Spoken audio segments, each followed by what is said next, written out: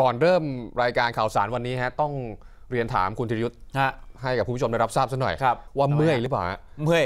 เมื่อวานนี้เมื่อยอะไรผมฮะ ดูคลิปของคุณธีรยุทธ์นะครับฮะไปรับคำท้าฮะจากพี่เดือคุณธีรพัฒน์อัครเสนีครับเรียบร้อยแล้วอืม Ice Bucket Challenge โอ้โห แต่ว่าลุ้นตามฮะว่าจะไหวไม่ไหว ครับ ปกติเนี่ย Ice Bucket Challenge นี่บางคนก็จะมีคนช่วยยกถังฮะถังครับ น้ำแข็งถังน้ำใส่น้ำแข็ง ครับ แต่คุณธีรยุทธ์ช่วงนี้สภาพร่างกายฟิตเป็นพิเศษ บ้าพลังครับ เกือบยกไม่เองขึ้นฮะก็เกือบเต็มแกลลอนเกือบเกือบเต็มถังครึ่งถังกี่ลิตรไม่รู้ไม่ทราบเหมือนกันฮะโอ้โหเราคือปวดหลังหรือเปล่า นิดหน่อยพอดีเมื่อวานต้องเป็นวันเล่นหลังพอดีอ๋อถือโอกาสถือโอกาสนะฮะเห็นคลิปของพี่เดือคุณธีรพัฒน์แล้วมันมันน้ำมันน้อยเกินไปโอ้มันเอ่อดูสุภาพอ่าอ่อนน้อมตามสไตล์แกครับ ผมเลยต้องดุดันหน่อย โอ้ครับนะฮะก็ถือว่าช่วงนี้ยังยังอยู่ในช่วงที่เป็นกระแสนะคครัรับบ Ice Bucket Challenge ก็มีการส่งต่อคำท้าทายรวมถึงได้ร่วมทำบุญฮะนะครับจุดเริ่มก็อย่างที่อ่าได้ทราบกันเรียงอีกครั้งหนึ่งแล้วกันก็มาจากทางฝั่งของสหรัฐอเมริกาครับนะครับกับองค์กรที่องค์กรชื่อว่า ALS นะครับช่วยเหลือผู้ป่วยที่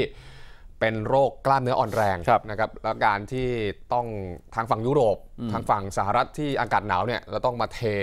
น้ำใส่น้ำแข็งเนี่ยก็ครับ เหมือนเป็นการให้ช่วยตระหนักถึงผู้ป่วยที่เป็นมีอาการแบบนี้นะครับ กับการที่โดนน้ำเย็นครับราดลงไป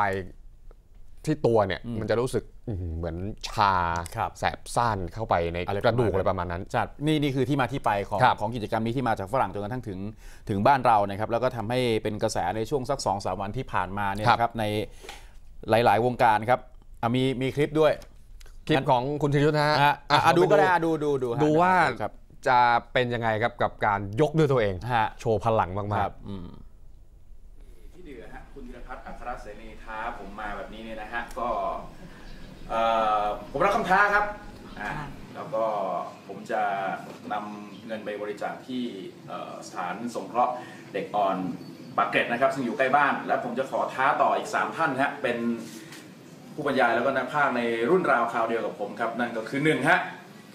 คุณปฐมภพอินบำรุงครับ นักพากย์เจ้าสำราญของ TrueVisions นะฮะสองคุณพันสิทธิ์วิเชียคุปนักพากย์บาสเกตบอล NBA ของทาง TrueVisions ครับ และสามคนสุดท้ายครับ คุณธิรพลทรัพย์ขำครับ เดี๋ยวลองดูแล้วกันนะครับว่าทั้งสามท่านจะรับคำท้าหรือไม่ครับ แต่ตอนนี้ผมจัดก่อนเลยครับพร้อมนะฮะโอ้โหเยอะมากฮะหนึ่งสองสาม เคครับ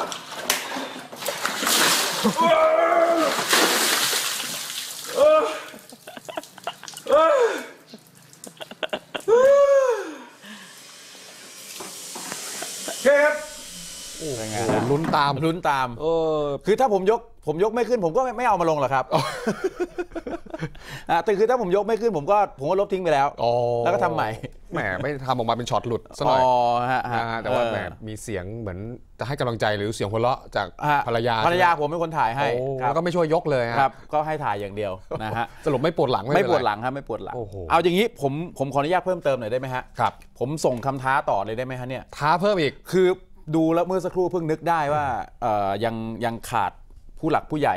ที่ผมเคารพรักทั้งครับ สองท่านที่ทำงานด้วยกันอืม ฮะ ใครดีผมก็ฮะ ท้าไปยังคุณอัจพงศ์ศรีมาฮะพี่หังนะฮะ พี่หังคู่หูของผมในการบรรยายฟุตบอลไทยเนี่ยนะครับ เปิดโค้งๆเนี่ยเปิดนะโค้งครับๆเอ่อกินกาซิยาสไม่ได้เนี่ยนะฮะโอ้โหแล้วครัก็บ